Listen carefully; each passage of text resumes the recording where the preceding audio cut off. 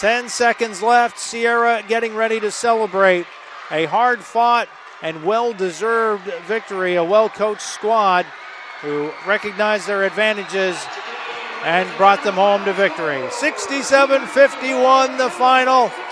The Sierra Timberwolves win the Division Three CIF Sac Joaquin Section Championship.